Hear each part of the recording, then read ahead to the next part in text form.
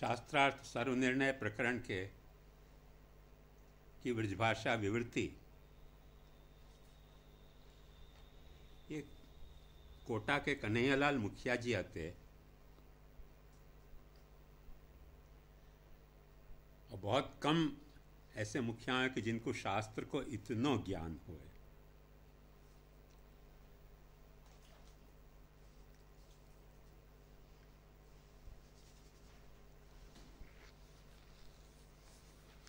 यहाँ तो इनने ब्रजभाषा को अनुवाद किया है। तो वाक्य अलावा भी इनके बहुत ग्रंथ हैं आते जो प्रकाशित नहीं हो पाए।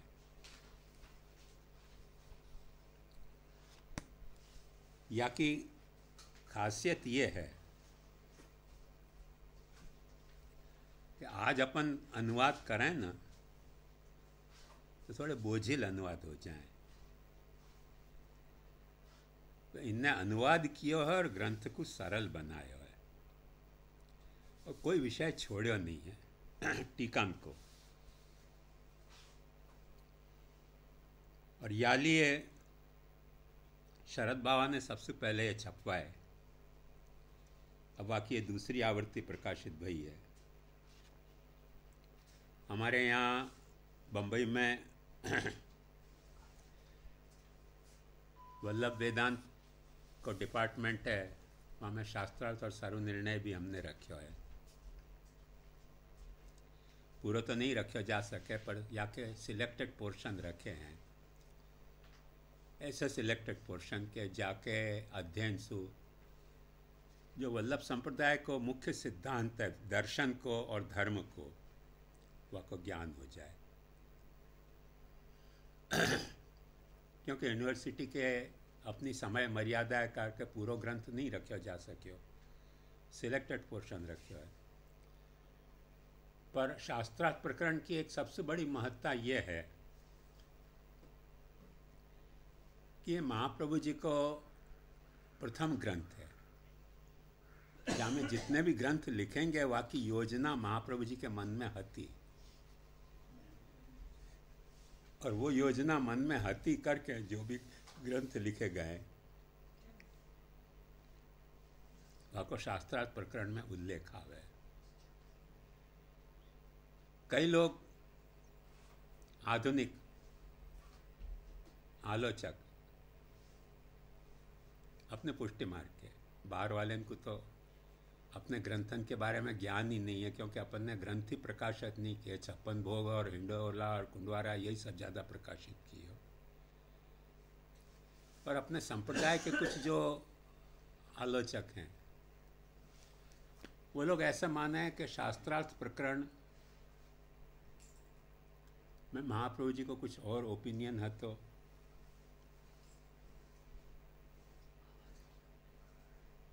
भाष्य सुबोधनी में कुछ और ओपिनियन है तो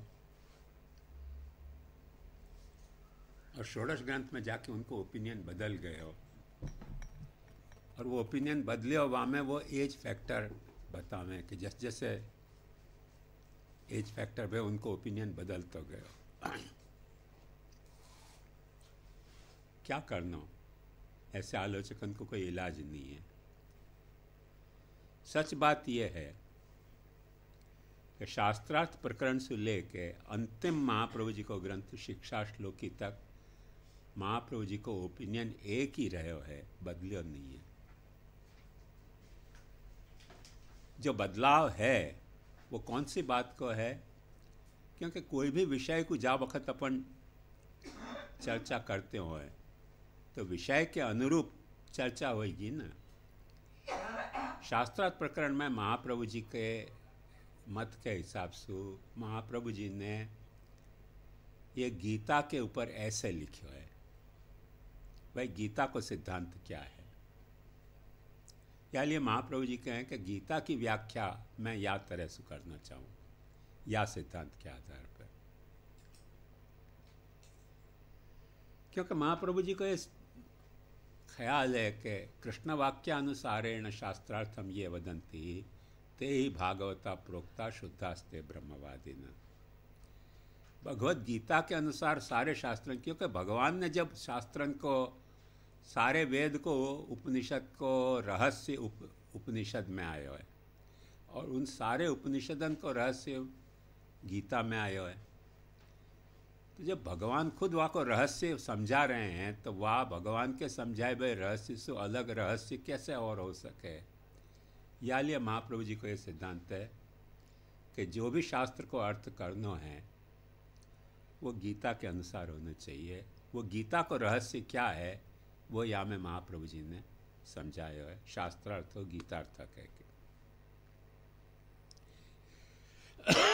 एक वक्त ये बात समझ में आ जाए मन ये फाउंडेशन है, नींव है। ये नींव समझ में आवे तो आके ऊपर फिर पिलर और सब खड़े हो सके। बीम और सब। वाके लिए महाप्रभु जी ने सर्व निर्णय लिखियो। सर्व निर्णय में महाप्रभु जी ने जो भी मान्य शास्त्र हैं, उन मान्य शास्त्र में से कोई भी शास्त्र को छोड़ो, नहीं है। सब शास्त्र के ऊपर साकार ब्रह्मवाद के एंगल से क्या अपना अप्रोच है? सभी आचार्य ने बहुत सारी बातें लिखी हैं। पर कोई आचार्य को सर्वनिर्णय लिखे हुए उपलब्ध नहीं हुआ वो अब लिखने वालों अपना एक खाली महाप्रभु जी है। जिन्हें काव्य शास्त्र के, आयुर्वेद शास्त्र को, सब शास्त्रन के ऊपर साकार ब्रह्मवाद को अपने दुर्भाग्य ये है कि महाप्रभु जी ने जो गाइडलाइन बताई, वह गाइडलाइन को अपन लोगन ने चाहिए जैसी विविध शास्त्रन के संदर्भ में डेवलप नहीं करी है। आवश्यकता यह थी कि जो महाप्रभु जी ने गाइडलाइन बताई, वह गाइडलाइन के हिसाब से जितने भी शास्त्र महाप्रभु जी ने सर्व निर्णय में अपना निर्णय दिया कि या शास्त्र के बारे में मेरा ये निर्णय है, अपना ये कर्तव्य है। तो उन शास्त्रन पर वह निर्णय के हिसाब से व्याख्या लिखते, विवेचन लिखते, वो संभाव नहीं हो पाया क्योंकि अपने संप्रदाय में, अपने ही संप्रदाय में नहीं, सभी संप्रदाय में प्राय एक ऐसा हुआ कि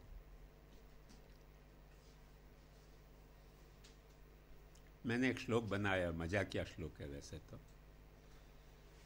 वह श्लोक में मैंने ये बात लिखी है कि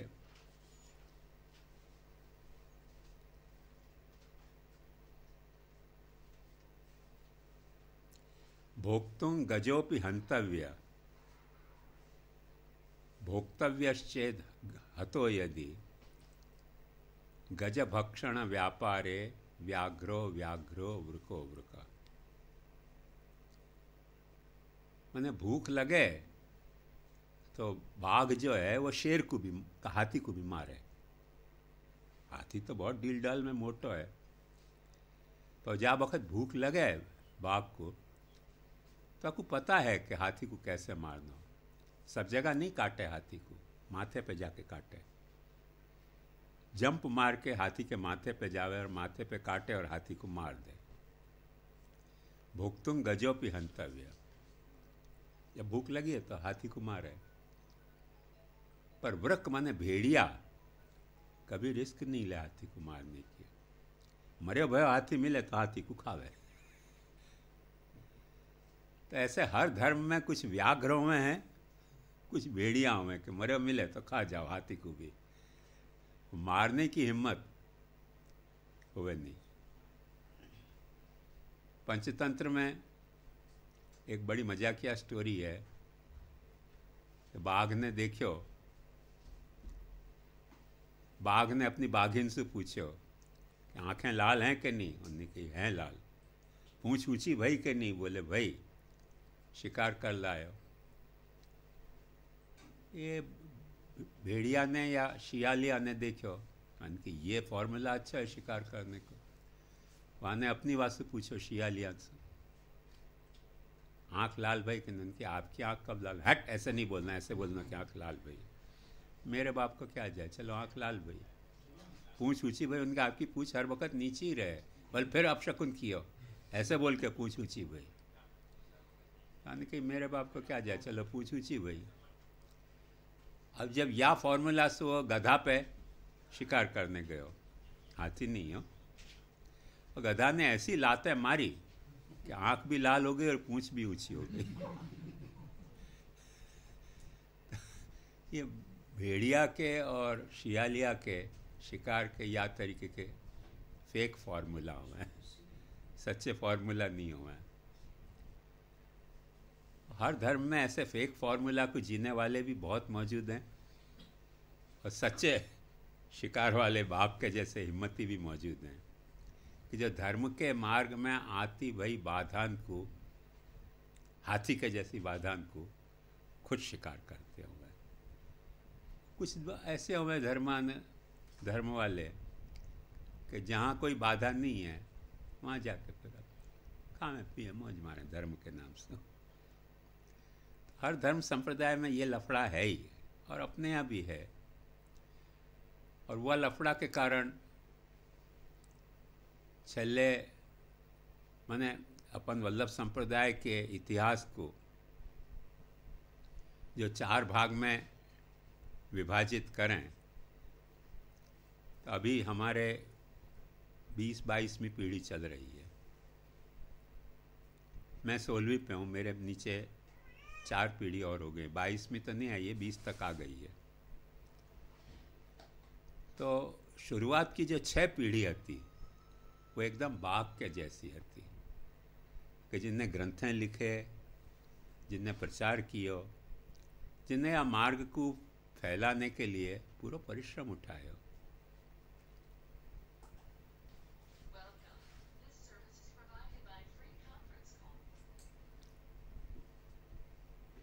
उनके द्वारा जो वल्लभ संप्रदाय को इतना व्यापक प्रचार प्रसार भयो, वह निभायो दूसरी छह पीढ़ी में। बारह पीढ़ी हो गई। वाह के बाद शियालियान को और भेड़ियान को युग आयो। और वह युग में कछु करो धरो नहीं, सिवाय ठाकुर जी के एग्जीबिशन के। और वो एग्जीबिशन भी ऐसा कियो कि जहाँ में लोगन में सेवा की श्रद्धा बढ़ने के बजाय घट गई, दर्शन की श्रद्धा बढ़ गई हवेलीन में। और वो हवेलीन में दर्शन की श्रद्धा बढ़ी या सो हम, हमारी समृद्धि तो बढ़ी। हमारी तो समृद्धि बढ़ी पर संप्रदाय की समृद्धि नहीं बढ़ी। संप्रदाय की समृद्धि सेठियान के शिष्य होने में नहीं है, धन्ना सेठन के शिष्य होने में नहीं है। संप्रदाय की समृद्धि, या में है कि संप्रदाय के सिद्धांत को जीने की निष्ठा अपन ने कितनी बढ़ाई? वो नहीं बढ़ाई। पैसा की समृद्धि बढ़ाई। भागवत सप्ताह के द्वारा, मनोरथन के द्वारा, या के द्वारा, हवा के द्वारा। અને आज अपने वैष्णवन को अपने संप्रदाय के सच्चे सिद्धांत कहने में हम लोगों को शर्म आने लग गई है कि मानेंगे नहीं तो। अरे बात ध्यान से समझो, कम्युनिस्टन को अपने कम्युनिज्म को सिद्धांत कहने में शर्म नहीं आ रही है। कन्हैया आपके सामने मौजूद है जे को। दिल खोल के अपना सिद्धांत कहे। दिल खोल के क्रिटिसाइज करे क्रिश्चियनन को क्रिश्चियन सिद्धांत कहने में संकोच नहीं है। मुसलमानन को अपने सिद्धांत कहने में संकोच नहीं है। अपने को अपने सिद्धांत कहने में अब संकोच होने लगे हो कि ये सिद्धांत हैं पर कहें कैसे? यदि या तरीके को संकोच रखे गए हो तो, तो महाप्रभु जी वल्लभ संप्रदाय को प्रचार ही नहीं कर सकते। क्यों? बाबा का तो कोई हतो ही नहीं वल्लभ संप्रदाय को। दमखंसु उनने प्रचार किया। दमखंसु लोगन में वो निष्ठा पैदा करी। वो निष्ठा आज तक गुजराती में કહેવત ભાંગ્યું તો એ ભરૂચ અને ભરૂચ की कोई काल में बहुत बड़ी समृद्धि थी वो नहीं रही तो अभी भरोच की कोई महत्ता रही क्योंकि पोर्ट था पुराने ज़माना को जैसे आज बम्बई पोर्ट बड़ो है ऐसे कोई ज़माना में भरोच को पोर्ट इतना बड़ो હતો कि बाइबल में भी वह नाम है बाइबल में नाम है, ग्रीक हिस्टोरियन के लोगन के वहाँ में नाम है, टॉलेमी वाकू रिफर करे। वो लोग भी भरूच को बैरो गच्छ कहते थे। क्योंकि भृगु कच्छ नाम હતો पुरानो। भृगु कच्छ को अपभ्रंश होते कहते भरोच भयो। और आज भड़ोच कहें। तो बैरोगच्छ वाको नाम ग्रीक हिस्टोरियन भी कर। रहे हैं क्योंकि अपने यहाँ इंडिया से बहुत सारी चीज़ें वहाँ एक्सपोर्ट होती थी करके कोई बजावाना भृगु भड़ोच में बहुत समृद्धि थी વાસુ ગુજરાતી में કહેવાતા ભાંગ્યું તો એ ભરૂચ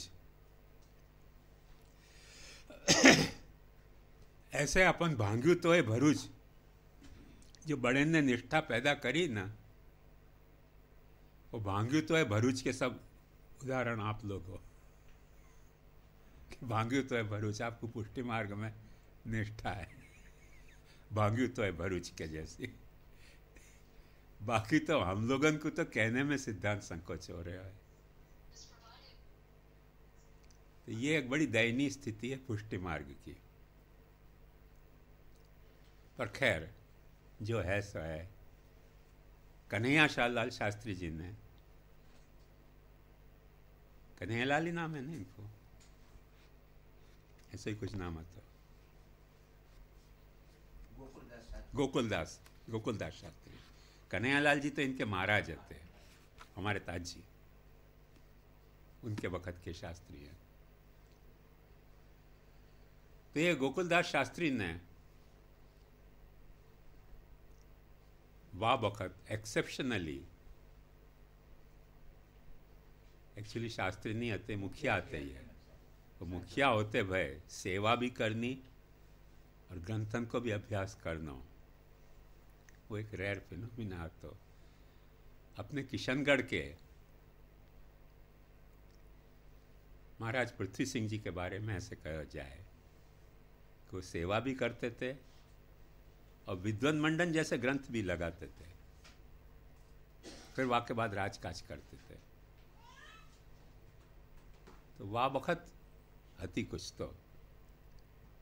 वो भांगेली श्रद्धा नहीं आती टूटी भाई श्रद्धा नहीं आती जीवित श्रद्धा आती अब भांगू तो है, भरूच की श्रद्धा है। पर जो भी है, इन शास्त्री जी को, ग्रंथन को, अभ्यास, क्योंकि संस्कृत भाषा की आज प्रॉब्लम है सबको सबको संस्कृत समझ नहीं आवे। तकलीफ़ आज की तो यह है कि ब्रजभाषा भी अब समझ में नहीं आवे। और थोड़े दिन बाद में आप लोगों को शायद मारवाड़ी भी समझ में नहीं आएगी, क्योंकि अंग्रेज़ी का प्रचार इतना बढ़ गया है कि लोग गुजराती बच्चा को गुजराती समझ में नहीं आ रही है। हिंदी वाले बच्चान को हिंदी समझ में नहीं आ रही है। तो मारवाड़ी वाले को मारवाड़ी कहाँ से समझ में आएगी? अपने पे वो दौर चल रहे हो अभी, आज को। पर चैनन की या में प्रशंसा करनी चाहिए कि उनकी प्राकृत भाषा आज कोई भी नहीं बोल रहे है, पर जैन लोग अपने प्राकृत भाषा के सारे क्लासेस चला हुए हैं। हमारे बम्बई में यूनिवर्सिटी में पुष्टि मार्ग के तीन बरस के कोर्स में 200 से ज़्यादा विद्यार्थी नहीं हुए हैं। जबकि उनके कोर्स में, जैनन के कोर्स में भी कलिना में हमारे चले हैं। 800-900 की एवरेज रहे। तो रेशियो देखो क्या है। जैन लोगन को, जनता को, अपने धर्म के, अपने और वो प्राकृत भाषा को चले आखो। प्राकृत भाषा की आपको कल्पना नहीं होगी। कैसी जात की हो? आपको एक उदाहरण दो।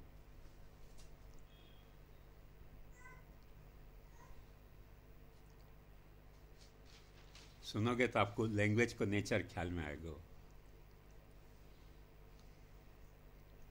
केनावि संगडदि कस्सवि पेम गंठी एमेव तत्थ नहीं कारणमत्थि रुवम चंगत्तणम पुनमुहुज्जदि भी तंदिज्ये पिसुण लो अमुएस मुद्दा। कुछ आया समझ में? इतनी दूर चली गई है। अपन जो भाषा बोल रहे हैं, वहाँ से इतनी दूर चली गई है।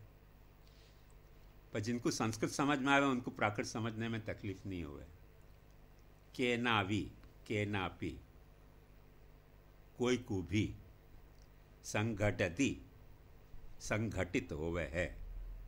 कसवी कोई के लिए पेम गंठी, प्रेम की ग्रंथि पेम गंठी, प्रेम की गांठ एमेव, ऐसे ही होवे। एमेव तथ्य तथ्य मने वहाँ जैसे गुजराती में त्या बनो नहीं कारण मत्थी। वहाँ में कारण वहाँ में कारण कुछ नहीं होवे। कौन से कारण? रूप के जैसे कारण। रूवम। रूवम मने रूपम। अब देखो, या तरीके की भाषा आती, इतनी दूर चली गई थी, फिर भी जैन लोग पढ़े जैनाचार्य लोग पढ़े जैनन के शिष्य पढ़े हैं, अपने यहाँ अपन अपनी ब्रजभाषा भी भूलते जा रहे हैं। जहाँ में अपना कितना साहित्य है, संस्कृत की तो। संस्कृत भाषा तो आज अपनी परदादी भाषा है परदादी तो जिए कि नहीं जिए भी विचार हो जाए अपने को। क्योंकि दादी माँ का ही हाल ये है तो। ये प्राकृत और मागधी अपनी दादी भाषा है अपनी मातृभाषाएँ सब उनमें से निकली हैं। तो पर दादी को कौन याद करे? तो खैर, दादी भी याद आती होए। अपनी ब्रजभाषा अपनी मारवाड़ी भाषा, अपनी गुजराती भाषा। तो वहाँ में भी पुष्टि मार्ग को साहित्य कम नहीं है। वहाँ में भी है साहित्य वाक्य भरोसे भी अपन काफ़ी अपने मार्ग को अध्ययन कर सके हैं। नहीं कर सके ऐसी बात नहीं है। सो so, ये एक बहुत बड़ा लैंडमार्क है कि या कि पहली आवृत्ति तो न जाने कब छपी थी मुझको याद नहीं है। दूसरी आवृत्ति शरद बाबा ने छपाई और शायद तो ये तीसरी या चौथी आवृत्ति होनी चाहिए। ये फिर से प्रकट भई है। और या के लिए प्रकाशकन को मेरे बहुत बहुत अभिनंदन। और अपन वाक को याद तरह से, सदुपयोग करें, ऐसी आशा अपने रखें और ऐसी महाप्रभु जी अपने पे कृपा करें।